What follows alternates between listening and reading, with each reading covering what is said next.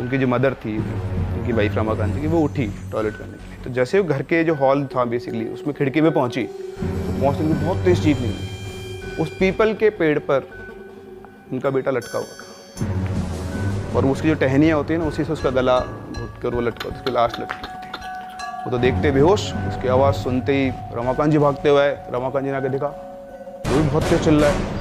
और रोना पीटना मच गया, आसपास के घर वाले आए, पूरे गाँव में खबर फैल गई कि इस तरह से रमाकांत जी का लड़का पीपल के पेट में मारा गया और अब मारा गया तो किसी को समझ में नहीं आया कि चक्कर क्या चल रहा है।